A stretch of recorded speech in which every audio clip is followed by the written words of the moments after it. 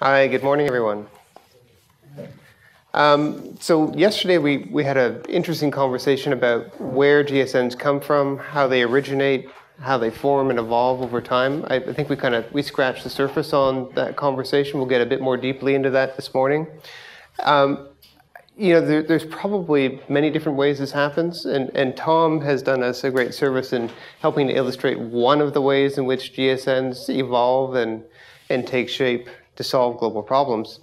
I was thinking about it, you know, in some cases we have this kind of spontaneous combustion, right? There's an event, there's a new piece of legislation that comes out. You know, an event could be like a, a crisis situation, a, a, network comes together to try and solve the problem. Uh, there's a new revelation, there's sweatshops and Nike supply chain, a you know, network comes together around that kind of event. Um, in other cases, and we talked about this yesterday, there's a kind of long evolutionary process of dialogue and engagement between multiple, multiple parties, and the GSN forms organically over time. The kind of situation that Tom is describing in network orchestration is a little bit different. This is when a third party deliberately, carefully orchestrates a network to achieve an objective. And Tom will talk yeah, he'll, he'll give us the, the full view and, and, and, overview of what orchestration means. Uh, we'll talk about the specific characteristics that are important for orchestrators as an organization. If you want to build and, and curate a network, what kind of characteristics do you have to have as an organization? And we have Tim from Purpose, Tim Dixon. Uh, he'll be talking about the role that Purpose has played in actually building networks as a bit of an orchestrator, I think you could say, of sorts, right? Really, and um, so they've had some some really fascinating examples. They've worked on climate change. They've worked on human trafficking. So we'll talk about some of those examples. And Don did a very nice job introducing Bruce. Um, as it turns out, and Tom will verify this, some UN agencies have actually been amongst the leading orchestrators, right? We identified five or six what we called super orchestrators that were responsible for many of the GSNs that we've identified. And several UN agencies are among those categories. So Bruce will share some insights about what's been happening inside the United Nations in terms of their thinking about how do they participate more robustly and deeply in building networks. So I'm going to start off with Tom. Tom will take us through about a seven or eight minute presentation, just giving us the highlights from the research, and then we'll get into the conversation. So Tom, take it away. Great. Do you want to go up there? Yeah, by all means. Well, it's great to have um, the GSN team and all of you here today. We at the Blavatnik School think of ourselves as kind of a mini GSN. We have about 40, or sorry, it's about 60 students from about 40 countries, so it's a very international place and we're dedicated to making the world a better place. So we're trying to do our part here, and it's great to be able to share this space and this experience with all of you who are working on similar problems in other places. I want to start today by talking about the big problem that Don identified at the beginning, how we solve big global problems like climate change, like financial regulation, like swine flu, other kinds of problems that cross national boundaries. Now, the traditional way we've done this has been organizations like the United Nations, intergovernmental bodies that bring countries together to devise common solutions, create different mechanisms for rules and enforcement of rules, um, service delivery, other ways of handling those problems. What I'm showing you with this graph is just a count of the number of such organizations in the world from the end of World War II until today. Now, as you see, it's gone up quite a lot. This makes perfect sense. We have a lot more interdependence these days. We have a globalized economy. We have lots of reasons to need to manage interdependence. But if you look at the oh, if you look at the rate of growth on a year by year basis of these organizations, you find a pretty steady deterioration. So the red line is showing you how many what percentage of the base increased or decreased on a year on a year basis. And you see that today it's gone almost to zero. We're basically not growing our international governance capacity, interstate governance capacity anymore. Now, does that mean that we have we've reached a saturation point that we don't need any more management of transnational boundary problems or interdependence? I think the answer is pretty clearly no. The world is getting more integrated, not less. It's not staying the same. And so we have this real governance gap opening up. Opening up. Now, as Don said, we also live in a period of tremendous innovation in global governance, with things like GSNs coming onto the scene, trying to pick up some of this gap. Now, there, it's a relatively new phenomenon. There are some that are ancient, that predate the nation state itself, but a lot of these things have come up, I would argue, in response to the growing gap we see here. Um, and the question is really how much do they add up to? Are these going to fill a big chunk of what we need? And two, if not, how can we bring them to a higher level of scale and ambition? How can we get more started? How can we make them work? And those two questions were really what motivated the paper that um, I want to talk about very briefly today, which uh, has been published by the GSN team. Uh, before I do, I just want to note this paper is co-authored with my colleague Ken Abbott at Arizona State University and is mostly the work of a few Blavatnik School students who have gone around and poked and soaked and found all these different GSNs around the world. I just wanted to recognize them. So Leo and Aaron, can you just wave your hands? Thank you for your great work. Also Tatiana and Luisa, who aren't here, were instrumental as well. They were here yesterday. They were here yesterday. Great. Yep. So um, this is really the power of teamwork, what you're about to see. So we went around and we tried to find um, as many GSNs, sorry, this as many as possible. Um, and uh, we, we managed to identify about 297. Now, what were our criteria for including these things? We're looking for um, innovative kinds of, of, governance solutions that brought together sub or non-state actors, cities, companies, uh, civil society groups, parts of existing governments, um, and also intergovernmental organizations. I wanted to see if they had a certain structure, whether they followed what we call the orchestration model.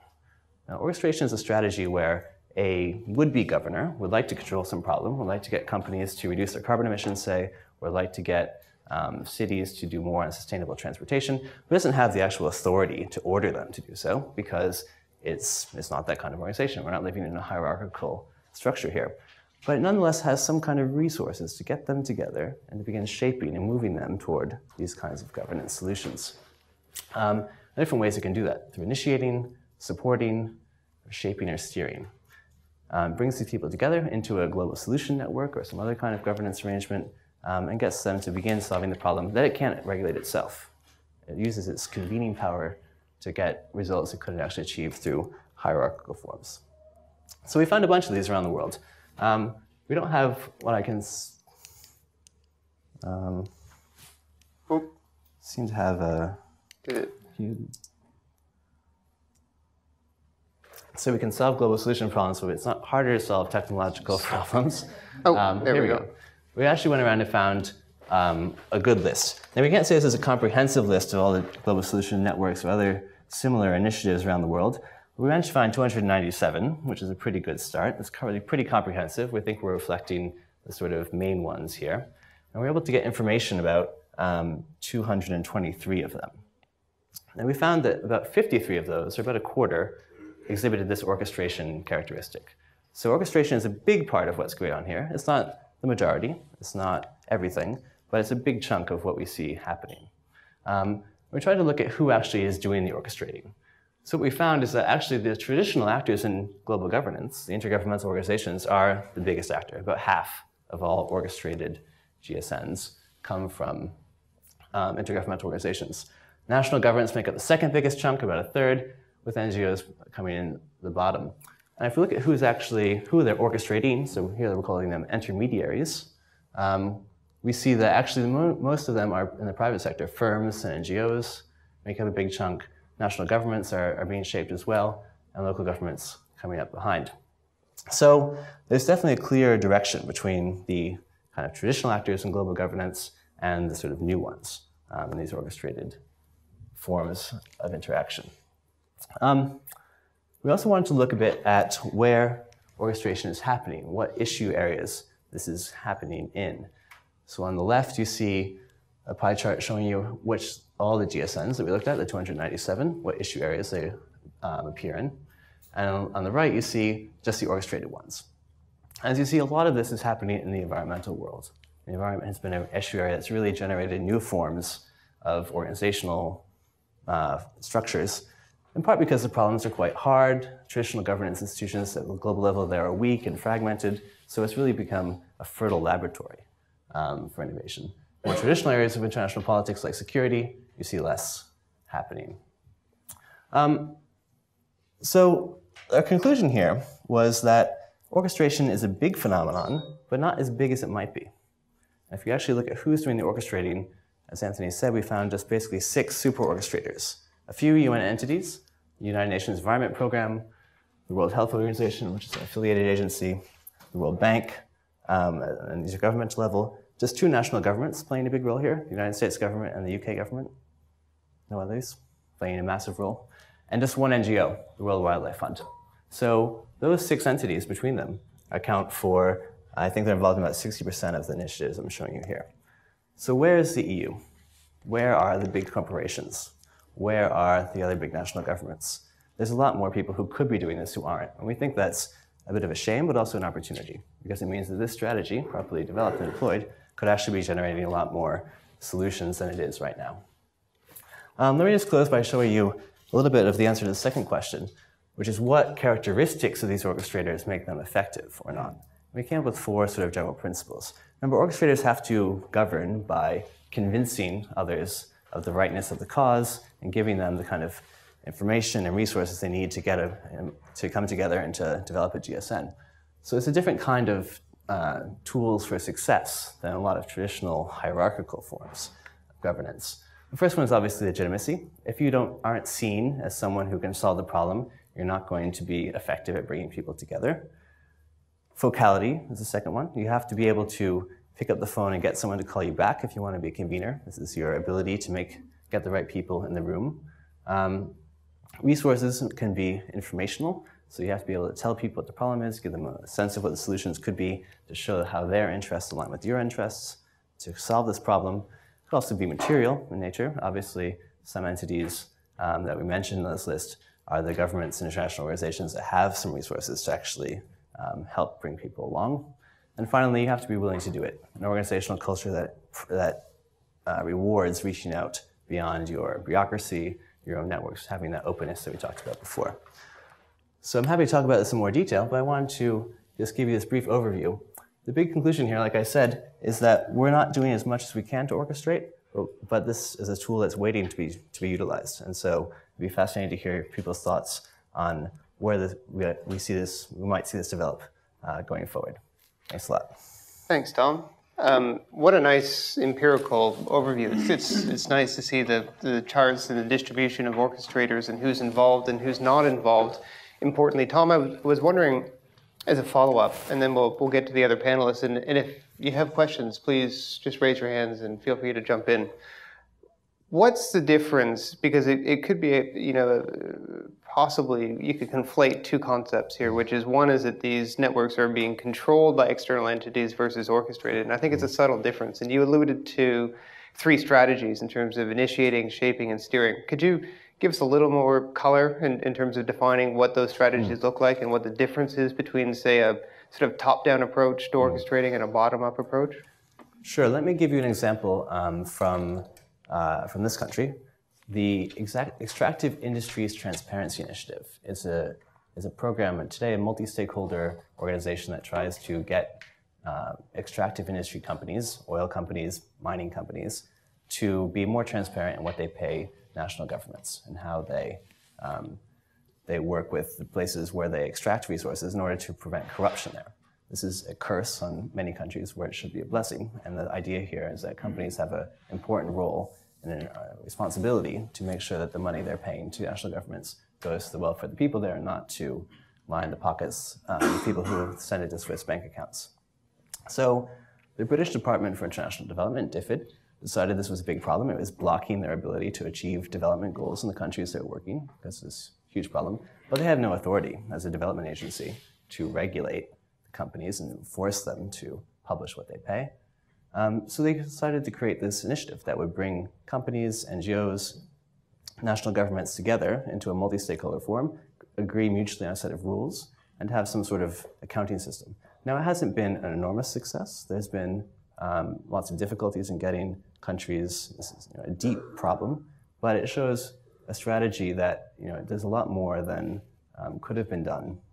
And it uses this tool of convening and sort of legitimacy power as opposed to command and control, which wouldn't have been an option. Interesting. Now, I want to call out one other subtlety in your analysis, which is the role of the intermediary. It's, it's not obvious initially why the orchestrator needs an intermediary or why they often choose to work through a third party rather than orchestrate mm. directly. And could you shed some light on that? Mm. So let me give you another example, um, which is the uh, C40 network of megacities working on climate change. We're going to have someone, I think, this afternoon talking yep. about that in more depth. But um, this is an example not of a traditional actor orchestrating a network, but of a, a, new kind of actor in world politics, the City of London, in fact, which, as the City of London wanted to do something about climate change, London has a lot of emissions, but not much on a global scale. So the mayor knew he needed to bring together a bunch of other mayors to get this done. And they started meeting together as mayors. Um, and now those cities, I think it's about 12% of the world population, are part of the C40 network, uh, 60 or so cities.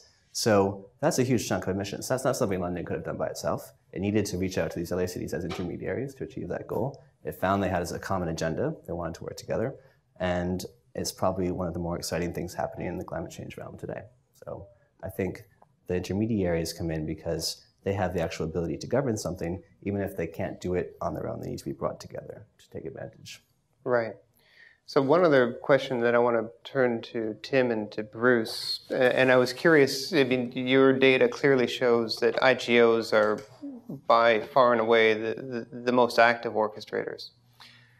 And you could maybe speculate as to why. I mean, and you pointed to the four characteristics mm-hmm. legitimacy, resources, focality, and the organizational culture. What do you think's lacking in some of the institutions that don't engage actively in orchestration, particularly companies and, and NGOs? Are they lacking legitimacy to lead? Um, is it the focality? Is it they don't have sufficient? Companies clearly have lots of resources. So where where are they potentially falling short, or are they just not seizing the opportunities? I think there's a lot of cognitive inertia in a lot of places. Um, the um, people don't necessarily, if you're a, a, bureaucrat working in an organization, you may not be rewarded by your organization for thinking about this kind of activity.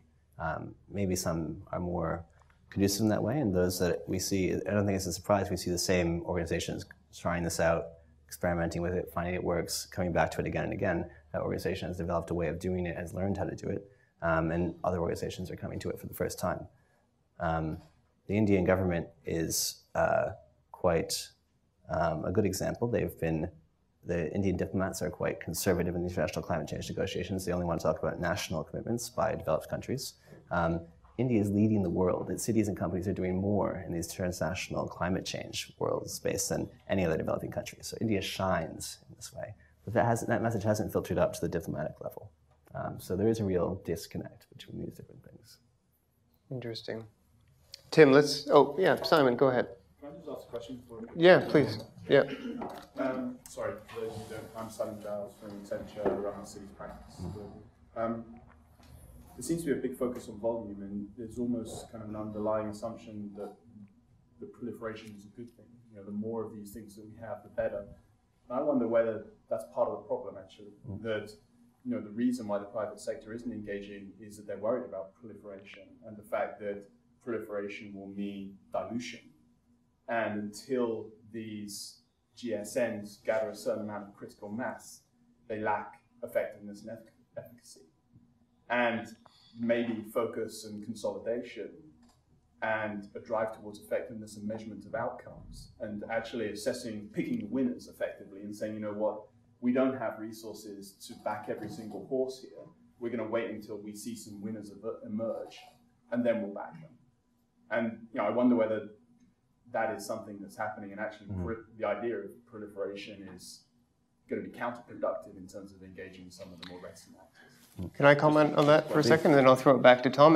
That's an interesting sort of hypothesis about what might be going on, but I think what I've observed in, in practice is that actually companies are quite happy to proliferate their own company-led initiatives in the sense that you know they, they like to have their their own CSR initiatives and so forth, and, and haven't, for the most part, um, taken leadership to actually build the, the kind of broader, more um, meta networks that perhaps would be required in some of these areas, and, and maybe that is related to issues around perceived legitimacy to be leaders in this space. Um, and, and I don't know, and I'd be curious to, to get your views too, Mary. Mary from the. Um, and what I'm wondering is there's a hybrid model that we work with, because there are clear initiatives that we are um, we are orchestrated by someone.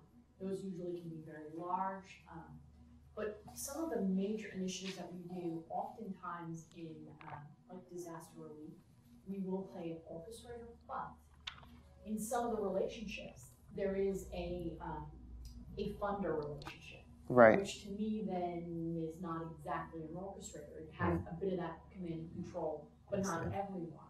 So that's where I, I feel like in certain situations, it's, it's, we are playing the initiate steer, kind of that's our strategy. And in some situations, part of the ecosystem of providers, it will be funding, but not all. Mm. So that's where I, and I agree, um, we tend to do those as the, as a, um, primary lead because it allows us to move fast and drive it. hmm But it, you know, you've gotta have more of that orchestrated relationship with the community Mm. because they're the ones actually doing the the change. I would also tend to say they feel more effective than some of the larger orchestrated plans. Again, we've got short timelines, we need it done by a certain period of time. And so I think that, that that's where I feel like I'm driving orchestration strategies, but not exactly the way you're doing it. So it'll be interesting. Interesting. Um, did, Elaine. Alain Ruff from the EU. Uh, Three very brief common question. We live in a uh, complex world. Regarding orchestration, how could we or can we reconciliate self-generation and orchestration? The second question regarding the skills uh, linked to orchestration, how can we improve the capacity of recognizing pattern, which is basic? And second, how can we develop uh, our capacity of sense making, making sense of what is unfolding. I think, for example, we don't internalize sufficiently the emerging collaborative paradigm, which is not only spreading up at individual level, but what about the global level of this collaborative paradigm?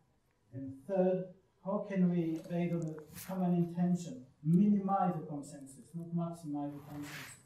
If we minimize the consensus, we leave space for improvisation and so accommodation between and among the unlike unlike minds, and so we, we, go faster and more efficient. I'll ask the panel to, to reflect on some of those issues. I, I want to get Tim involved and just to tell some of your stories. So, Purpose is an organization that goes out and, and actually builds movements for progressive change. As I mentioned, had has worked on climate change, human trafficking, a number of other important issues. Tim, maybe you could just walk us through an example like human trafficking. You, you were asked to uh, essentially build a network around this issue. Tell us what the intervention looked like and describe the process. And does it kind of map onto what uh, Tom has been describing in terms of the principles and strategies of orchestration and your experience? Sure. Um, thanks. Um, thank you for the invitation. Sort of as you, our, our work is incubating lots of these different interventions in a lot of different subject areas. So it's nice to um, have the opportunity to sort of stand back and look at a taxonomy and think with a little bit of reflection. Although I do feel like I have arrived at the end of the world because here we are at this august centre of learning, the University of Oxford, with all of its great history, in a room full of bookshelves, and there isn't one book in the room. so this is the end of the world. All we have is Wi-Fi. That's all we need. Um, a, a- couple, just a, a background comment before jumping into the example of, Yeah. of human trafficking. So one of the things that we've found useful in, I guess now what we've got about 45 million people have been involved as joined different initiatives, different movements that we've sort of started in lots of different areas. Some of them are multi-issue, some of them are quite specific. Um, we sort of think about the, the larger change of what's going on in a world where an Airbnb can become the biggest provider of rooms of accommodation in the world, bigger than every hotel chain. Um, in a world where a Beppe Grillo, a, an Italian comedian, can get a quarter of the country's votes coming from nowhere, um, where you've got you know the Ubers and the Lyfts and so on taking on the conventional taxi industry. All of these changes going on in sort of private enterprise, in the way in which people come together, and and there's something common to a lot of these examples that they're they're driven not by the the sort of the old currency of of power as something which is centralized and held in someone's hands and then kind of doled out. Um, and it's inaccessible and it's closed. But in a, in a world where the power is a currency that's kind of shared and, and created through mass participation and the, the, the involvement of the many and driven by peers rather than driven sort of top down. Um, and so, you know, this is the new world, and a lot of business models are reflecting that. A lot of what's going on in politics, a lot of what's going on institutionally, and there are a set of actors who are struggling to, you know, deal with this with this changing world. And so, if you think of this as a kind of models of older older forms of power and, and newer forms of power that are, you know, renegotiating that space and I've spent part of my life working with the very conventional old power world of being at a political party, being, you know, winning election campaigns, being in government. I was the um, Prime Minister's speechwriter in Australia for a few years, economic advisor, and we, we took power just before, a few months before the financial crisis. So it was a really um, stark moment of looking at what can the old power institutions of government do in that moment of crisis, and how can they kind of pick up these new currents of power that exist. Anyway, that's that's all to sort of say background, but it's it's the context of thinking about this change in the way that power works that that we're in the midst of sort of renegotiating that space. So, in that context, um, what the, the purpose work is to think about how you build the infrastructure of, um, of new social movements. We've got this capacity to bring huge numbers of people together um, very quickly um, across the world, breaking down all the sort of national boundaries, even language boundaries to some extent. Um, and they can, by, by, taking action, by participating together, by funding things, um, they can achieve some kind of change in the world. And so, what the thing that we've thought about is because we're involved in building some of those things, we've thought about the role that a business, which is purpose is a sort of social business, um, so we don't have to maximize profits, but we think the model to scale this stuff up quickly is, is business model is the best model. Um, we think about how you build the um, sort of expertise, how you build, how you invest in people, how you develop more people with these sorts of skills to use these new digital platforms in smart ways, um, and to incubate new social movement organisations, incubate new interventions that can bring people together and achieve some kind of change, can, can identify gaps and can fill those gaps. Um, and that's the that's our kind of thinking. So we've done you know a bunch of different things. I mean, most recently we'd been working with um, Michael Bloomberg's um, folks in New York on the gun control issues, where they were putting lots of money into the old style drop, you know, $10 million into TV ads in the middle of a congressional district race. And our argument for them with them was like, you guys are spending a lot of money and this is a very old way to do it. Your problem is you won't get change on gun control unless you face down the power of the NRA, which is a real grassroots organisation. It's powerful. It knows how to leverage its power in smart ways during in the middle of congressional races and so on, not just TV ads. You need to build a movement. You need to actually have real people. Um, and so we architected a strategy, which is a movement called Everytown, which was launched a few weeks ago. And, and that's an example of an organisation that's got assets, it's got money, but actually needs people if it wants to achieve change on a really difficult, intractable issue. On human trafficking, um, the Anthony's question. So we had a, a, wealthy philanthropist come to us and say, um, he, he actually literally said to me, Tim, I want to end child sex trafficking on Facebook. And I was trying to work out whether there was some terrible thing that Facebook was involved in that we had to campaign against. But actually, what he was saying was, you know, social media is like this amazing new thing. Can't we sort of press some buttons and we'll stop sex trafficking? And what we said to him was, um, uh, people come to us because they see us building these big movements and lots of people. But our point was like, so what would be the reason why you get a million people? Sure, I can do a change.org petition and get a million people to sign it if I make it smart enough. But like, what does clicking on something online actually achieve? And, and our sort of conclusion was, yeah, definitely there's a power in mobilizing lots of people, but you've got to have a larger sort of strategic analysis of why human trafficking or modern day slavery exists, what are the factors behind it, and what can what interventions, most importantly, can solve it. So we looked at this, spent a few months really, and this is a kind of um, like a McKinsey sort of exercise, a McKinsey social sector exercise of trying to landscape that world and say who's doing what, concluded that there are hundreds and hundreds of organizations working on sex trafficking. Um, very few think of it in a systemic kind of structural way. So lots of people rescuing girls from brothels, but uh, in some cases, literally taking them out, taking them to orphanages that will recycle them through the same system back into the brothels, um, you know, six months, 12 months later. Um, and who's looking at the structural intervention? So our conclusion was there's not enough evidence of actually what works. Lots of people doing like individual initiatives. Very few of these things are scaled up or work or are tested in a different context. We actually need something like what the uh, the Global Fund did with HIV, AIDS, um, malaria, TB back 10, 15 years ago, where large amounts of money were put in with lots of different interventions and people measured what actually worked. And if you can measure what works, show that it works, you can get more money for it and you can get more resources. And my point to um, Andrew Forrest, the, the funder of this, was nobody's actually done that with trafficking. There, there just aren't really at scale interventions. Actually, and literally my conversation was, you know, Andrew, you can make a big difference on this issue. You know, you want it to be a life work, but you know the biggest thing that you bring, and of course he's thinking like, it's my brains and my charisma. It's like, frankly, it's your money.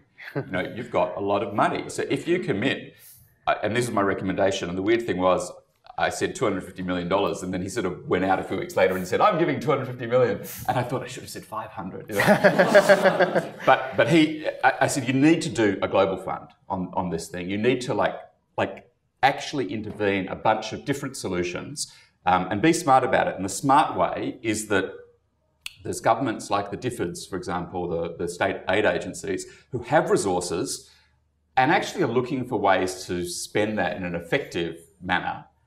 And if you as the private sector partner, because the sort of governments get a lot of public cover if the private sector is putting in money and they match money, right? Like they, they the public perception is that the private sector is much smarter in how they allocate resources. Sometimes true, sometimes not. But but if you go and you say, I'll put 250 million on the table if you differed, if the Norwegians, if whatever, um, put match that dollar for dollar, you can very quickly scale that up to you know 500, 750 billion dollars. And let's actually do a bunch of interventions that test what works. Also, that's the that's the sort of testing side what works. Secondly, you've got to actually make this a thing. Right? You've got to get people talking about slavery. And I thought the best example was what Transparency International did with the Corruption Perception Index a few years ago, that you know has a league table and measures countries on how they perform and all these measures.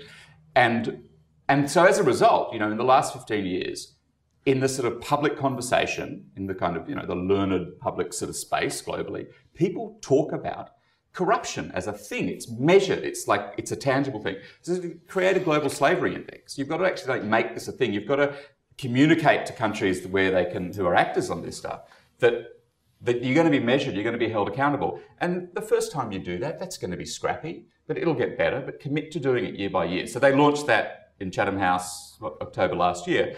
And it's scrappy, but it's a real thing. So slavery, trafficking is becoming a thing. And I, we said language, modern day slavery is more powerful than trafficking, because if you say trafficking, is it drugs, is it whatever? So, you know, use consistent language. So that was the second thing. And then the third thing we said was, sure, like we have the expertise in movement building, and we see that if you've if you can work out what works, get resources into it, if you can use conventional media channels to talk about this thing and get people thinking about trafficking slavery, then there's a role for a social movement which can bring pressure to bear at the moments when that matters, can bring pressure, bring pressure to bear to get the you know, Filipino government to sign the Convention on Domestic Slavery, for example, or to get Qatar to do something about the Bangladeshi workers who are held in slavery on construction sites. Blah, blah. Lots of different campaigns you can run, but work out what works. And so the, the point is for, you know, we, we do the social movement piece, but but we try to do it in an intellectually thoughtful and critical manner that just because, you know, you got a hammer in your hand doesn't mean that everything's a nail. You know, doesn't you don't always need a million people, five million people. And Walk Free's now is the name of the organisation is Walk Free. It's six million people. It's a big, it's the biggest movement of its kind in, in the in this area. Um, but it's effective only if it sort of fits into that larger picture. So I think that's the I think the, the thing to think about these networks is you know where they fit within the larger picture. If you're trying to achieve some kind of change, are you making the strategically smart intervention that fills a gap, that does something that others are not doing, or that they're not doing successfully, um, and make it work from there?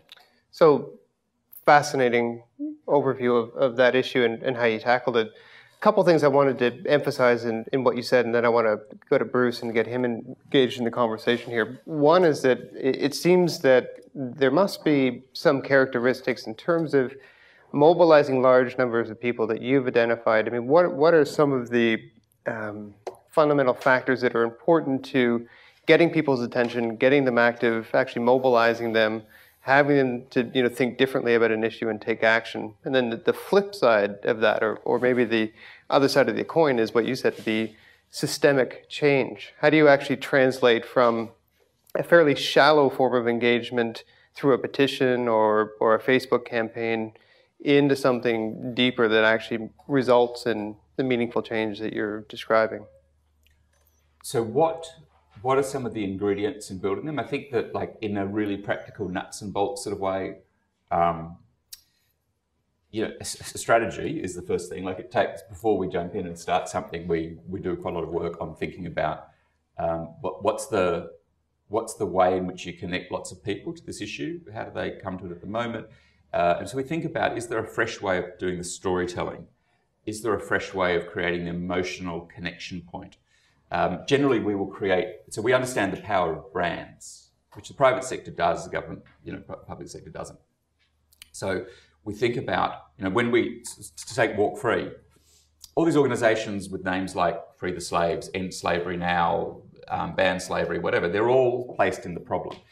Our sense was the emotional connection point here is the dignity of human freedom. So we call the organization Walk Free. So we try and develop brands that have a power, a sense of agency to them. Because the thing that you're always trying to tap into is how do you develop people's sense of agency, their sense of participation. So, so India, and just been in India and Brazil doing some work in the last few weeks. India and Brazil, you know, and emerging countries, Africa, it's true as well. Uh, super interesting because people are waking are waking up to a sense of agency that they didn't have in the past. And that's not a smooth ride. Like look at Egypt, which has ended up with a military dictatorship that's probably going to be more brutal and effective than Mubarak's was. Um, but there, there's a journey of like participation, engagement, agency, impact. Uh, is not smooth, but there is big part of the world where people you know, Maslow's hierarchy of needs are sort of getting to that point where they're surviving. Um, the middle classes, they're sort of getting more aware, more educated, and they want their voice heard. And so you're tapping into that, but not in an exploitative fashion. So you don't say, and we're doing some work on Syria right now, for example, we don't say like, you know, click on this petition and end the war in Syria. Um, you actually have to give people an honest sense of, here's, here's our big picture of this problem. We believe your participation can make a difference and give them real stuff to do that can have real impact. So right now on Syria, for example, that might be helping a six-year-old boy um, get across the border in Jordan a couple of weeks ago, um, a Syrian, British Syrian boy, um, where the Foreign Office was just like not working hard enough to get it to make it happen, put it into the media, and, and that happened. Uh, you can't solve the big problem, but you can do the, the smaller pieces. So I think it's that, that thing of agency, understanding brand, understanding participation and how important it is for people to, to feel involved and that they have um, impact. In terms of the, um, the piece on how do you get beyond the shallowness and make it deep. So, so we think about some of the, the there's a journey of of sort of, if you think of the sort of supporter journey that an NGO will talk about or sort of customer experience that businesses will talk about. Um, people start in the modern age, they generally will interact digitally first with something. They will consume content. Um, they, the next thing they'll do if they like that content is that they'll share it with their friends in some context, Twitter, Facebook, whatever it is. Um, and it's moving people through that sort of consumption, sharing, the sort of shaping. So when they start making something, they take the selfie with the sign saying, you know, the Al Jazeera stuff right now about the reporters in, in, in jail in Egypt. So they take the selfie saying, you know, free the, journalists, whatever. Um, so shaping funding. So, you know, Kickstarter, now the biggest funder of culture in, in America ahead of the National Endowment for the Arts. You know, super interesting how a model like that can go from nowhere. Um, so breaking down the power of financial institutions and spreading that to, to the crowd. So, so funding is a, is a big issue. You know, the Obama campaign, um, which feels like an old example now, but you know, it's all driven by that sort of micro funding piece. Um, getting people to produce. So think of Etsy, for example, that massive online marketplace where people create stuff, produce stuff, and sell it. Um, Now and you then- have 3D printing to go along with that. yeah, Yeah. yeah, yeah. Um, and, and and that takes you into the, the economic models are changing as well. So the stuff that you can do that you know you can produce, you can, and and and the end point is sort of like it's, it's co-owning. Um, so if you think of something like a Wikipedia, for example, where you know the, the world owns it, and really like the, the world participates, shapes it, and owns it. So it's thinking through, it's giving people a diversity of different ways to participate, giving them a sense of a journey where they can do more and be more impactful, um, making people as much part of the community if they're just sort of, you know, doing the share thing. That's how people start. But that the argument, you know, people, there's some, sometimes an argument about digital activism, is it just clicktivism? It's like, well, if, if you only ever sign a change.org petition, sure, but, you know, that is just it's how people now participate. The first thing I did as a to participate politically was attend a political meeting of Oliver Tambo from the ANC speaking in Sydney Town Hall in Australia. That was my kind of political awakening moment. Um, but like very few kids are going to have that as their awakening moment going to a town hall meeting now. That would be several steps down the track, but it's it's the online engagement. But the trick is to sort of how do you take people through a journey? So you're telling them a real story of like by doing more, you can have more more impact and not just sort of stopping at that, that kind of one moment of engagement. Let's go to Bruce. Bruce, so thanks for joining us. I know you're feeling under the weather, but it, it's a pleasure to have you here. And as Don mentioned, Bruce is doing a tremendously important piece of work on defining the future of the United Nations and the role that the United Nations plays, not just in you know orchestrating networks, but the way it thinks differently about how it engages in the world and solving problems. And Bruce, I want to give you an opportunity to describe, maybe briefly, some of the research you're doing with us. But I wanted you to reflect in particular on the work that you had done, because Bruce spent 30 years with the UN Development Program. You led the partnership initiative, so you've you're steeped in this. Essentially, you have a lot of experience. Um, and, and, clearly, Tom's research indicates that organizations like the UNEP and UNDP have been really leading the charge in terms of orchestrating multi, multi-stakeholder networks. So what's um, what's happening in, in those particular agencies that has differentiated them from other players in the international system or even within the UN system in particular? Okay, thank you very much. Can you hear me? We can, yeah. Actually, the mic is off. Is the mic on? You want to check? I'm incompetent. Oh yeah, that's true. That's my sometimes. uh, and ap- apologies. Yeah, I got one of these, I guess, plane viruses or something. So I lost my voice. Generally speaking, that would be a very good thing, but uh, I guess for today it was unfortunate. Um, and that's about that's about the best I can do with, with my voice. Um, thank you for inviting me. I'm happy to be here.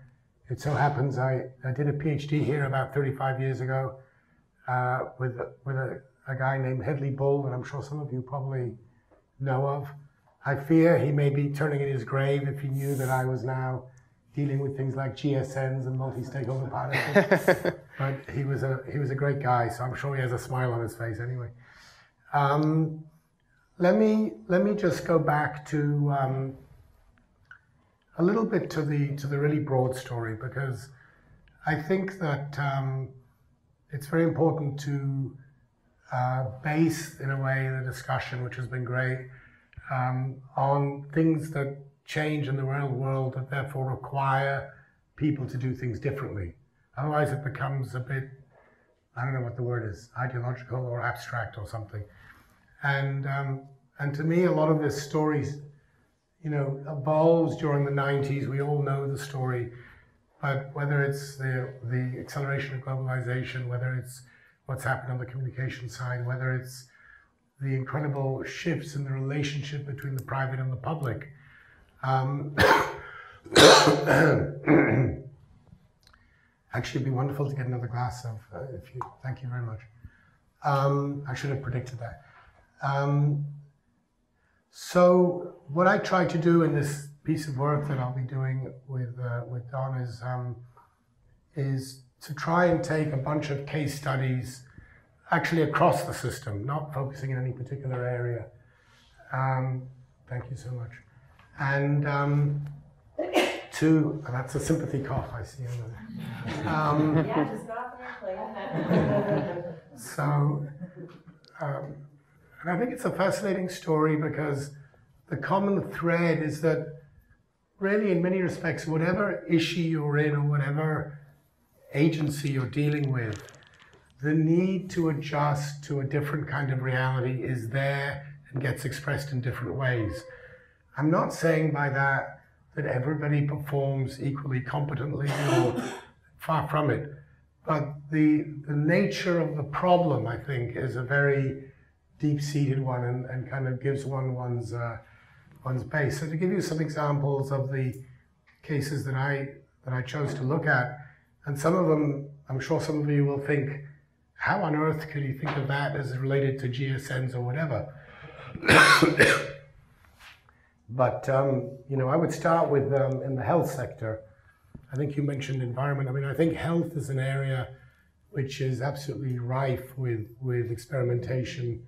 Certainly in the, in the broadly defined development, development, cooperation business, I think health has been the leader of new ways of doing things. And I just chose to take um, the, um, the alert, the alert system, a, uh, GOARN, G-O-A-R-N, that most of you are probably familiar with, or some of you are, um, which is, after all, an extraordinary um, concept if you you know if you stop and think about it, because you're establishing a watchdog to um, get people, practitioners, world round, to do stuff because you don't trust the governments will actually do it. And if we look at what happened in the SARS case, the case indeed was that the Chinese government was very slow in that particular case to pick it up, and it was the network that then put the pressure and led to, to real change.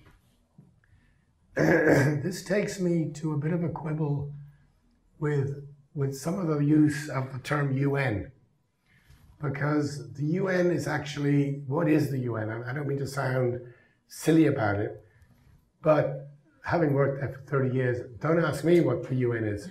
Um, because it's, there's a lot of individuality in it.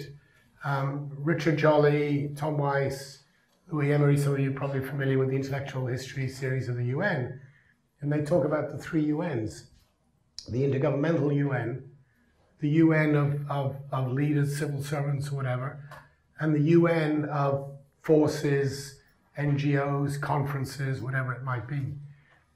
Most of the stuff that's happening that's interesting around here uh, that would also come probably under your um, uh, help me remind me. Orchestration. Thank you. Orchestration. Um, uh, relates to individuals that create space within what we know as the UN. I mean, Brundtland broke through all of the existing regulations to get what she had to get done in the case of responding to SARS. Take a case, another case that I look at, uh, a wonderful case that some of you are probably familiar with, which is John Ruggie's work on the stuff on human rights and, and uh, business principles. You know, what, what is that? What is that animal? It's a special representative of the Secretary General. He worked in the UN, he then goes back to Harvard. He's trusted as an individual, he's appointed as a special representative, and he then convenes all sorts of multi stakeholder fora um, to create um, outcomes that the intergovernmental process was completely unable to negotiate. But it, it is a UN thing in a way, but it's definitely not intergovernmental. Um, and to me, a lot of the interest of the UN, I mean, my God, if, if the UN was really just the intergovernmental machinery, I can assure you I would not have survived 30 years. Um, there's a lot more, and it's very, it's very ambiguous and a lot of the stuff that relates to this is super ambiguous because it's it's kind of crafted along um, deliberate ambiguities uh, which need to be managed. If you take the major initiatives that the SG has launched over the last five years, sustainable energy for all, every woman, every child, etc., etc. Everybody will have their own views as to how developed these are. how successful they are. But the interesting thing is back in New York, the eggshells that are being walked on to preserve the space to be able to do this kind of stuff uh, in the, uh, is, is quite remarkable. On the one hand, you want to try and have a license to operate, which requires you to relate somehow to the intergovernmental process. But on the other hand, you have to make sure that that need for a license to operate does not, you know, dump you into a hole which is not being able to act without formal approval of the intergovernmental machinery, in which case nothing at all would happen or very little would happen. Um, there are um, some other interesting examples. I mean, there was a another another case that I took is the business call to action, which is something that I happen to be myself involved in. Um, but um, it was launched here by Gordon Brown, um, and it was all about um, developing inclusive business models, not CSR type of stuff, but inclusive business based on core business principles and cases. Um, and again, it's interesting because basically um, you have a multi-stakeholder uh, advisory group. You have stuff which is clearly being steered out from one particular secretariat. Um, but actually, if if the issue is is is somebody controlling this, the answer is no, not at all. Governments barely know that this thing even exists. When I say governments, I mean the, the, board of the United Nations Development Program barely knows. I, I, was just struck by your comment on entrepreneurial individuals in particular, Brundtland, Ruggie, and so right. forth. That strikes me as important. And Tom, I, I wonder if we need to add that to your framework in terms of defining principles, whether you need real leaders in some cases to drive this kind of change forward. But I'm wondering, in terms of, I mean, is the culture of multi-stakeholder cooperation, participation, is it is it sufficiently kind of baked into the way the UN thinks about how it tackles problems, or does it really require those unique individuals who think differently about how to solve problems to make stuff happen?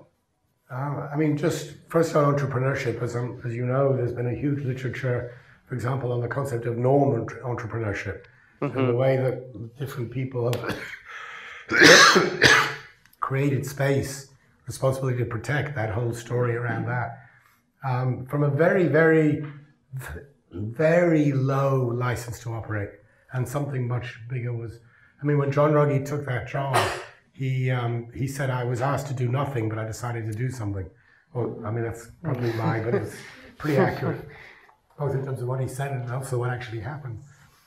I believe that one of the important things about the UN is that it, there's a lot of space in it for, for people to do things that want to do things. If people want to sit back and say it's hopeless, I can give you piles of stuff to show you that it's hopeless. Um, but people go in and do make a difference. And the question is, how do you create these mechanisms to allow that to um, to flourish. Yeah. And one of the things is not to go, you know, not to go further than what the authorizing environment will allow you to do. Push it, keep pushing it. That's what the great leaders do. But don't make that mistake of thinking that you can go completely off um, on your own, because then I think you're in trouble. I think that the UN absolutely um, requires leaders. I mean, I think leadership is fundamental to that model because it's a deeply um, you know, conservative model, if I can put it that way. Um, but you know, my I joined uh, UNDP. I'm not going to talk about UNDP, but I joined UNDP in 1982, and my almost my first administrator was Bill Draper. Will you explain to me how Bill Draper gets to a UNDP? He's a, a Republican venture capitalist from Silicon Valley, fantastic guy, had no understanding of anything about the way the UN worked and we were much better for it. He broke every conceivable rule, um, but somehow survived, partly because he didn't need the organization. I mean, he'd already made hundreds of. Um, something like the Human Development Report, you know, when we talk about, about um, um GSNs and space and creativity and entrepreneurship, the Human Development Report which has you know become over the years a, a pretty you know well-known document. Again, we can like it or not like it. Um, it was the creation of one guy talking to another guy, saying, "I'm going to do this." And they then created an office called the Human Development Report Office. Uh, and uh, which and I was in the middle of it, so I can talk to it. And uh, whenever governments complained about what was going on, we said, no, no, no, it's independent. It's independent. You know, we can't control that. That's an independent office. What does that mean? It means absolutely nothing. I mean, it's a it's an it's a unit of a UN organization. How can you get away with saying it's independent? But we completely got away with it. The minute that we were, uh, the minute that something was really good, people loved the Human Development Report. Look at our report. We're so proud of our report. It's such a wonderful report. That's a line which I think is um, one has to kind of understand what you can do with that and also how you can abuse it. We've got about 20 minutes, and I, I, know all of you are probably keen to jump in here. Don has his hand up and, and think of your questions and comments about orchestration for the panel members. Don, go ahead. Great discussion. Um, this one's for Bruce. So we've got big uh, ambitions for this project, material, and actually changing the UN. And there, there are at very senior levels in the UN people who understand the whole multi-stakeholder uh, GSN thing. Some would say that this could be Ban Ki-moon's legacy, and under his watch, a whole new paradigm in solving problems in the world was uh, forged. So when Bruce and I first sat down and talked about this paper, Bruce says, what do, you, what do you want to do? And I said, well, lots of people say the UN is no longer fit for function, so we're going to go in there with a blistering critique of what's wrong with the UN and we're going to show how it could be much more effective on 10 big issues by using the whole GSN approach. And he said, that will feel miserable. The, the whole culture of the UN will be like a bunch of antibodies that will come and crush that, and no one will even read your report. He says, the, the better approach, the one is finding, is to say they're already doing this. It's just not being institutionalized. It's uh, uh, that there's no real uh, body of knowledge to that, that's coherent to advance a whole new modus operandi that, in fact, the UN is embracing. So the research has generated a ton of great examples, and Bruce is just getting into them, that actually we're able to categorize into different, uh, uh, into the uh, different groups. And should Bruce live to complete, oh, gosh. do you want to but the, the bigger issue I'm raising here is, um, if this really changed my thinking about how you get these traditional international organizations uh, is to change, is, is you try and show in a positive way that this is working, that they're already doing it, and they should do it much more deeply. Yeah, if I could just yeah. one little thing in there. Yeah, yeah. I do think that we're actually in a very interesting moment because um, there are a lot of, of bits that are not coming together right now. And so, you know, the, the, it's got to be moved in a certain direction if this thing isn't going to begin to falter. What I'm talking about, I don't know, some of you probably very aware, some of you aren't. But Bob Orr, the Assistant Secretary General, who's been pushing a lot of this stuff, was at the head of trying to establish an institutional home for this in the UN. And that has not fared well at all uh, through the intergovernmental bodies that have been going out of the way to block it. Um, and there are also some very difficult discussions about the future institutional um, home for the sustainable energy for all and for every woman, every child, or whatever. We could have a model. I mean, there could be a scenario. I, I sincerely hope it's not the case for the sake of the UN. But um, there could be a, a, scenario where a year from now, a lot of the bigger initiatives migrate out of the UN because it just doesn't seem to, to work. Um, that, that's a very pessimistic model. The other model is um, is that things get worked through in a way that you know that, that can work and that everybody can live with. But I do think the next year to two years is actually quite important. Other comments, questions? Yeah, Robert huge number of thoughts um, from a, you know, a very wide um, ranging discussion from the panel. It's a simple question, but then I'll just sort of qualify the, the question. So the simple question is how do we um, ensure that we don't solve the wrong problems very well? Um, And, and I'll qualify that with a, as a cartoon an image in my, in my mind um, where there's a homeless person sitting on the street outside a, an art gallery. No one, nobody's paying attention. Everybody's walking past them. And then there's a picture looking through the window of the art gallery um, to a picture of the same homeless man. And there's crowds of people gathering around this, this piece of art.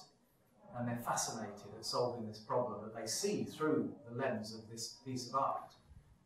And, and I can't get rid of that you know, picture in my mind. Um, and, and, it, and so from the panel, we've had a spread on the left of um, you know, social movements and kind of, you know, the issues of, problems. And I'm reminded of your very powerful Facebook um, story of uh, modern day slavery and a philanthropist with a, you know, big checkbook, you know, and that story and the Facebook and I just want a button or, you know, whatever. And how you have to be thoughtful.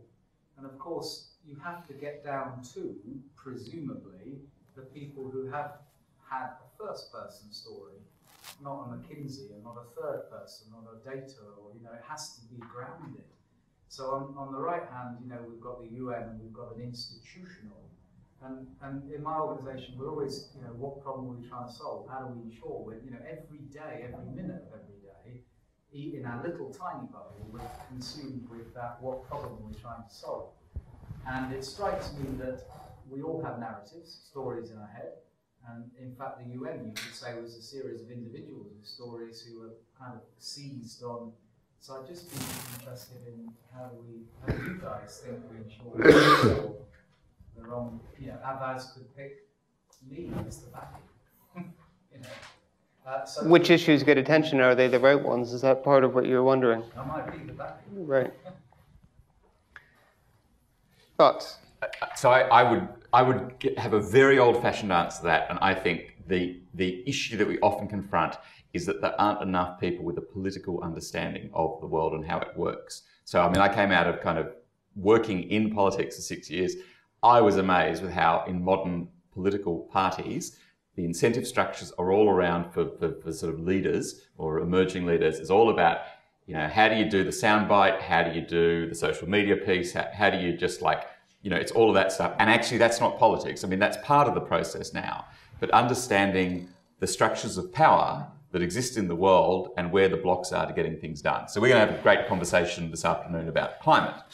I mean, how, how can you have a conversation about climate that, you know, assumes even that the governments are the key actors or the only actors in that? I mean, I, I worked in, you know, we, we had a carbon tax, emissions trading scheme and a carbon tax um, plan legislation in government in Australia. Um, the whole thing, and it was legislated in the end, and it's all now being dismantled by a government that essentially got kicked, back, kicked out because it handled the issue so badly. A, a key thing that went on there was I was dealing with the Prime Minister. I had lots of civil society groups coming saying, we really want to mobilize people around this issue. We want to build like this is going to be tough. You know, here the Australian economy, it's a resource-based economy, the most powerful interests are you know coal and mining and so on.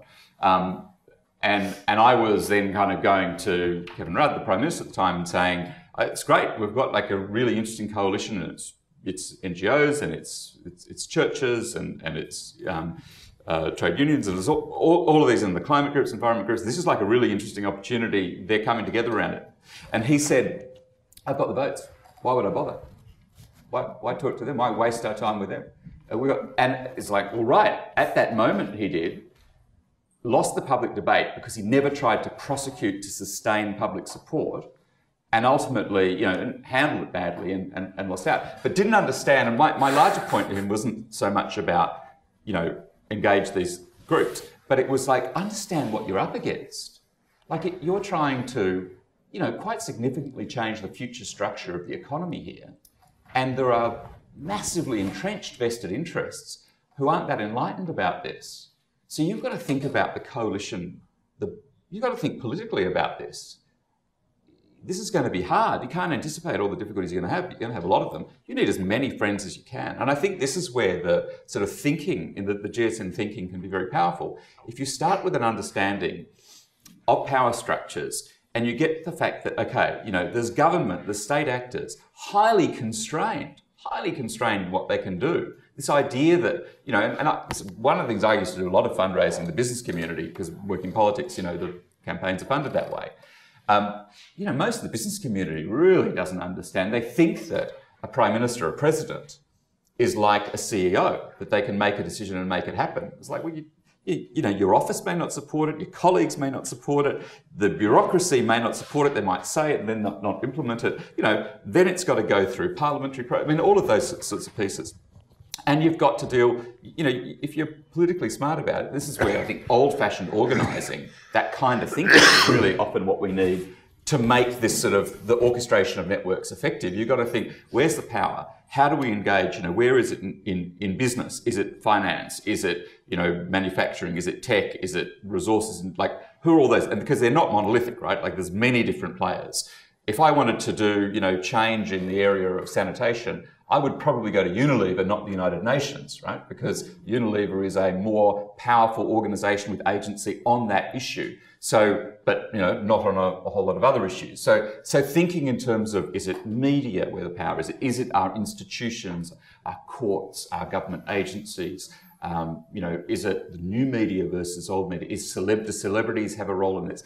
And, and I think that's that's where we need more people who did, who have different career experiences so who don't just you know exist within an NGO silo in their career or UN or you know bureaucracy or private sector, but who jump between those because that's the thinking which makes networks effective. It's that sort of joined up thinking where you can deploy, pull the different levers of power where they're going to be effective. And so I, I would say in my field, you know, people who do the social movement piece, you can be incredibly naive about the role of like getting a whole lot of people in a social movement if they're targeting the wrong person, doing the wrong campaign. It's, so, but they have a role, and I think the the legitimization that comes, the power that comes from mass participation, mass engagement, is far far greater now than it used to be, and much more important. But it's part of that, you know, that that old and and having a, a political understanding in that larger sense um, is just crucial to making all of these efforts um, effective and impactful. Tom, can I bring you back into the? I mean, I'm curious because you wrote Gridlock recently, a, a book which offered uh, an interesting prognosis on on where we were, you know, the state of mm. cooperation and collaboration today in solving global problems. And I'm curious, you know, given what Tim has offered here in terms of the importance of these kind of coalitions and what your research has suggested, how do we accelerate this phenomenon in terms of, of getting you know, organizations with resources and clout and so forth to invest in building these coalitions of the willing around these intractable mm-hmm. issues? Well, I think there's a lot that um, traditional actors can do through this orchestration technique, and they are doing it, but they can do more. Um, and they might be able to do it in ways that um, others can't, just because of the legitimacy they have, the ability to speak for different voices. I wanted to connect this to the question about what problem we're solving because um, it really is a question of who defines the problems we tackle.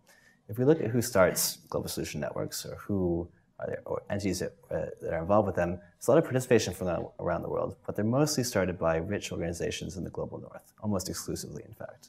And that means that at the same time that um, developing countries are, for the first time, getting their, you know, feeling their weight at the intergovernmental level, being able to actually make choices and force decisions in inter- intergovernmental bodies, the rest of the world is coming along and saying, sorry, we're, now the action is shifting to this realm. So, and they're saying, you know, we're just starting to get our hands on, on this picture. Um, and it's frustrating. And that's why you see some of this reaction. So I think a key challenge is how to bring um, this, how to use this approach in a way that serves the needs of people who increasingly matter for world politics and will have to be part of any solution for a solution to be a solution. There's just no way around that.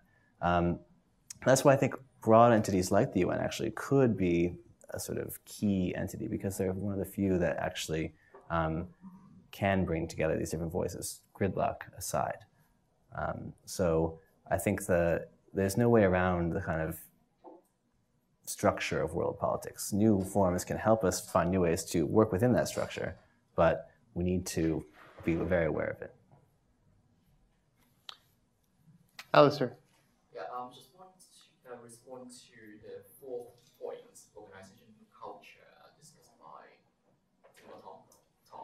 Yeah, um, about the characteristics of success. I, I, I, perfectly agree that the four characteristics here are quite applicable to mainly Western organizations. But if you uh, look at it uh, from uh, uh from another cultural context, like uh, for Asian organizations, if I were you, I would add the fifth characteristics, uh, which is um, the characters of leadership. Yeah, in Asian organizations, which I am um, the organization culture uh, can be very different uh, with a new leader coming in uh, this following day. So it might well be that um, an organization can be a perfect of a GSN on day one, but it can be a dominator uh, of GSN uh, on the next day because uh, I, as I observe, some um, uh, some leaders still have a mindset of too much command and control, and they like to formalize things. They like to make things are complicated with a very formal governance structure, and um, and actually this uh, create some more problems before the original problem is solved. Mm. So I think that um, the, uh, if we take a look um, at the uh, the cultural difference uh, in the um, in uh, corporate management, uh, I think we, we just just need to add a, a remark after organizing. Do you want to reflect on that, Bruce? The issue of well, it, it certainly strongly resonates with me. What what you said, and I, um, I mean, you asked the question earlier as well. Um, to me, one of the most amazing things in a place like the UN is you get a succession of new leaders coming in with very, very, very different visions and concepts and understandings, even of what their fun, of what their role is. Um, I actually do a case study at Columbia where I compare a whole bunch, slightly change the names around. Um, and uh, the, the point of it is not, is not good or bad, obviously. The point is very different understandings of what leadership is, what it means, how you exercise it, the instruments of it. Um, so um, I, I do think that these things can change overnight, and um, uh, and it's uh, I, I, don't know I don't it would be interesting to look more at whether certain institutions have more um, safeguards against you know leadership being completely dominant in that sense from an organizational culture point of view and whether some organizations are more open to that I, I, that would be an interesting thing to look at mm. Tom in the other workshop that we have running here today, we're looking at transnational climate governance institutions, so GSNs, but also other kinds of entities in the world of climate change. And one of our studies there is looking at how Chinese cities and companies participate in these networks or not, because if they're not working there, they're not working, you know, their, their, their potential as a solution is circumscribed. Um, what we find is that there's a lot of Chinese participation by cities and companies in these kinds of bottom-up networks, but it happens in a very different way than um, in a country like the United States, for example. The way Chinese companies participate and Chinese cities participate is to achieve, um, they participate in the kinds of networks that help them implement governmental policy. So China has new carbon markets, which are starting up in, as a pilot program in various cities. And Chinese companies and cities have been participating for a long time in the voluntary versions of those, the transnational GSN kind of versions of those, in order to gain the expertise to be able to uh, function effectively in those new kinds of governance solutions. Um, I would less engaged in the ones where there's not a clear policy directive pushing them in that direction. So here again is an opportunity. The Chinese government has the ability to help push its companies and cities into these kinds of international networks, orchestrate them in that direction, if you will, um, to help them achieve the government's reduction targets, which are very important, um, in a different kind of way. So the, for us, it's more about um, leadership style matters, but it's not shouldn't be seen as a barrier or a facilitator. It's about making it work within the context um, as I think you're mentioning. Yeah, but uh, but in China, uh, I agreed with um, the uh, the observation that you share. Mm. Uh, in my experience working with the mainland Chinese, to be specific, um, it's the, the reason why Chinese governments can um, direct uh, either directly or indirectly um, the uh, other um, corporations who are seen to be um, superficially irrelevant to the Chinese bureaucracy in Beijing is that um, uh, it's all down to the political culture. It's deeply rooted uh, in the Chinese culture for thousands of years. And um, uh, also, after the Communist Party took over uh, uh, um, they have specified that uh, all uh, corporates or even the football team in, in city have to follow the leadership of Communist Party without any reservations. So uh, once a, a new Chinese president like Xi Jinping uh, came to power, a lot of people in China um, spending um, days and nights thinking about what uh, Xi Jinping is, is going to do to us. Uh, and we have to get ready uh, to change right after he opened his own golden mouth in, in Chinese proverb. So that, that- that's why um, I think that um, the leadership role is still uh, particularly um, a, s- a significant factor in shaping all these, uh, which we're talking about uh, in a GSN that should increasingly involve more Chinese actors. Last word, and then we, we have to call time on the panel. I think the question about organisation culture is really interesting, especially within the context of how it evolves over time in relation to networks. And as different actors come into it, the politics with a small p changes as different norms are introduced into the network. And I think that's especially true in the context of the private sector organisations. Private sector organisations, especially the very large ones, tend to have quite idiosyncratic cultures and their own norms around behaviour and expectations. And it may be that a network is chugging along very happily, but needs resources in order to get, to get to the next level of development. So they reach out to the private sector to access those resources. But the quid pro quo for those resources is the introduction of new organizational norms and cultures and expectations about service delivery, expectations of effectiveness and efficiency of the network.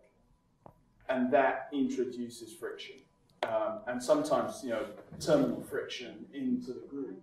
I think it'll be a really interesting area to look at. Uh, how do these? How does the politics of the network evolve with governance changes and the introduction of different cultural norms, uh, both in terms of you know geographic and um, uh, and and kind of norms of cultures, but also organisation and the, the expectations of those different types of organisations.